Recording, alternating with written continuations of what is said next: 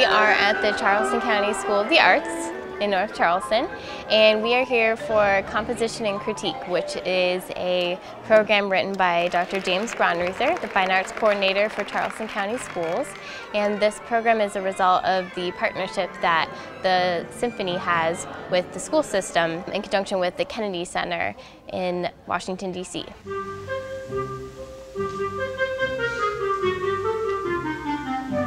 The symphony hired three composers.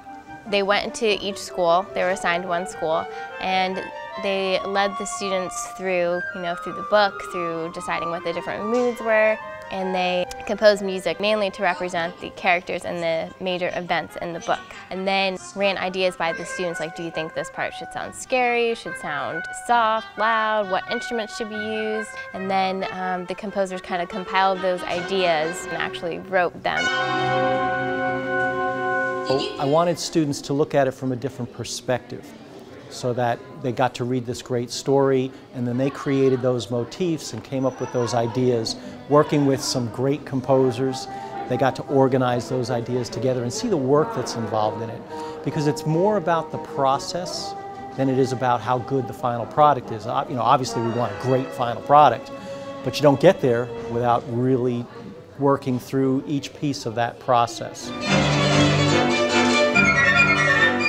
I think it's really unique because they're the ones that are developing the ideas when there's, there's nothing there. And they have the story and they have to try to enhance the story with the music. So they're not only learning about music, but they're also um, keyed into you know the author and like actual writing composition. It's not just arts enhancement. They're really learning um, music and writing, reading, composition at the same time. We're so fortunate to have world-class musicians right here at our doorstep.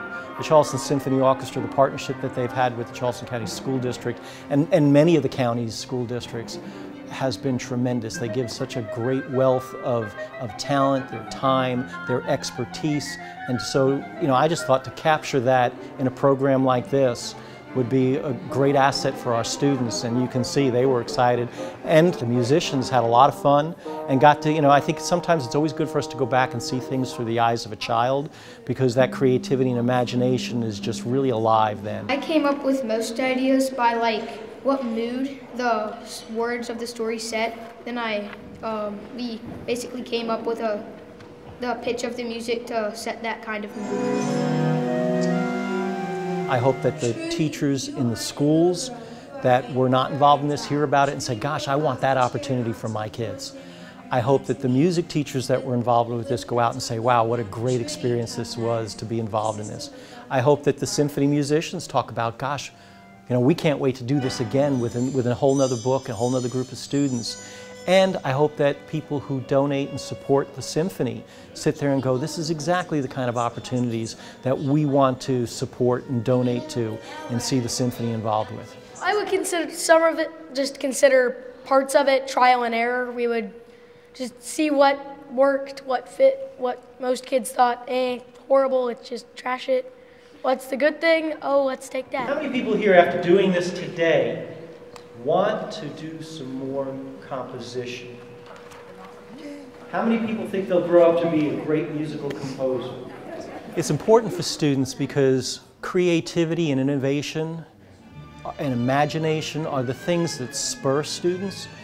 I, and I learned a long time ago that students will learn anything they want to learn, and it's the want to. If you can get them to want to do something, they'll spend countless hours working at it and perfecting it and getting great at it. If you get them hungry and passionate about doing something and they're asking for more information, being a teacher, that's what you live for.